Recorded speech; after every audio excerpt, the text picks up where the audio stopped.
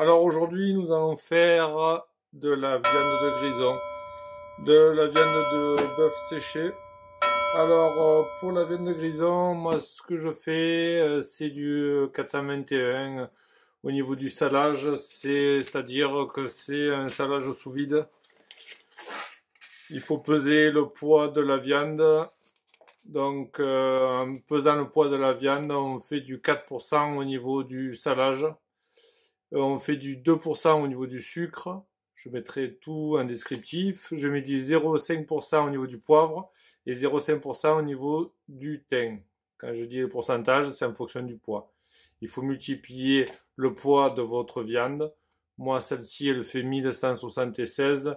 Alors, euh, j'ai multiplié par 0,04, ça me fait 47 grammes de sel, 23 grammes de sucre, 6 grammes de poivre et 6 grammes de thym. J'ai tout mis là. C'est simple. Il suffit de prendre un sac pour la mise sous vide. Vous mettez votre viande à l'intérieur. Tout mon mélange il est fait.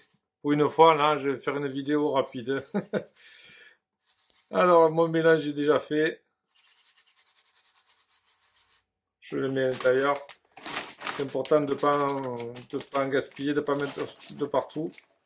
Parce que comme le grammage, il est, il est tout calculé en fonction du poids. Une fois que j'ai tout mis dedans,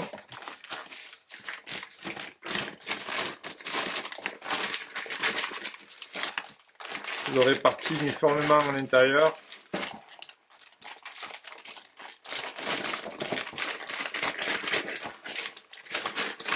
Voilà, c'est de l'à peu près parce que de toute manière après euh, la viande elle va rendre de l'eau et ça va ça va faire un genre de liquide. Alors euh, j'ai oublié de vous dire la viande, euh, il faut prendre une viande qui soit assez tendre, qui n'ait pas trop de nerfs.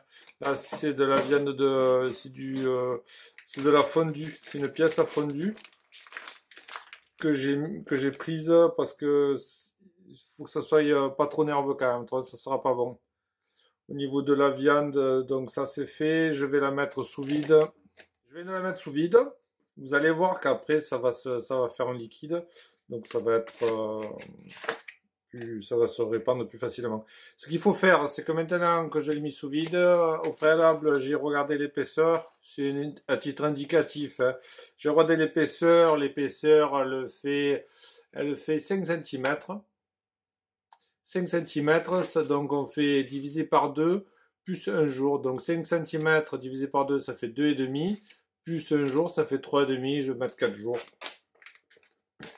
Voilà, c'est pour ça que, je dis c'est approximatif. Parce que de toute manière, il y a la quantité de sel. Ça va pas sursaler, quoi. La quantité de sel, elle est là. C'est l'avantage. Parce que quand on le met dans des bacs avec du sel, parfois c'est plus ou moins salé, c'est trop salé ou pas. Là, c'est plus efficace. Et tous les jours, je retourne pour que le, sel il soit bien uniforme, qu'il se répande bien. Le sucre qu'on a mis à l'intérieur, ça va permettre de rentrer plus facilement dans la viande. C'est euh, quelque chose qui permet de, de mieux sceller à cœur. Mais euh, vous vous inquiétez pas, ça n'aura pas le goût du, du sucre. Voilà, j'ai plus qu'à le mettre au frigo. Allez, voilà, la première partie est terminée. Vous voyez que c'est devenu liquide. Je l'ai bien tourné à chaque fois. Tous les jours, je le tourne. Je vais tourner pour que ce soit bien uniforme. Maintenant, j'ai terminé. Je vais le passer un petit peu à l'eau. Voilà, je viens de le nettoyer. Je vais passer sous l'eau. Maintenant, je le sèche bien.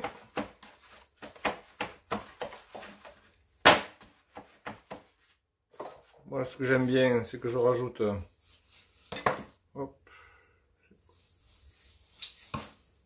je rajoute un peu de thym.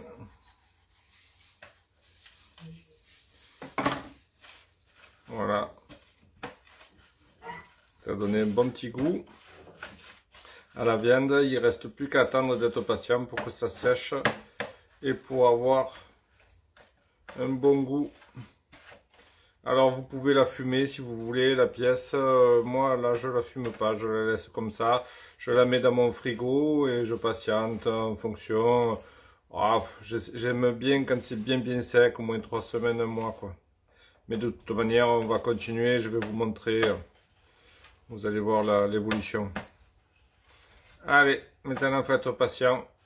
Faut le mettre à sécher. Ça va être sympa.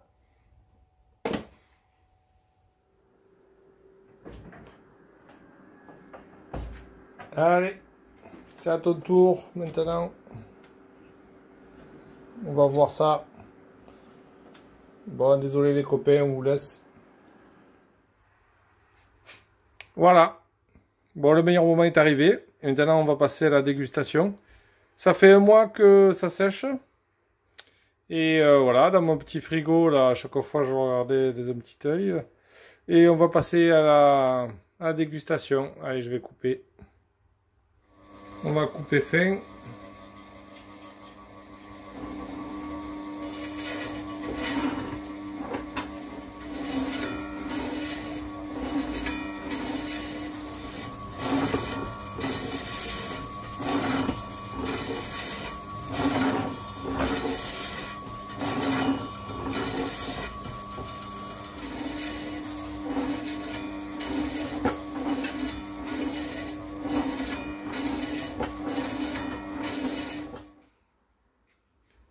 Voilà, belle couleur.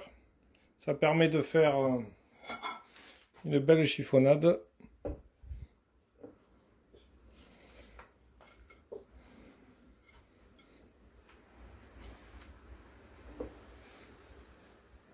Allez, je vais vous faire voir ça. Le jour est enfin arrivé, le jour de la dégustation. Ben, franchement, c'est une tuerie. Vous voyez que ça a séché tranquillement, c'est pas trop croûté tout autour. Euh, en fait, c'est la, partie noire qu'on voit, euh, il n'y en a presque pas, donc ça a séché tranquillement dans mon frigo, bricolé. Un mois d'attente, on pouvait attendre un peu plus même. Même ça fait un peu plus de mois même.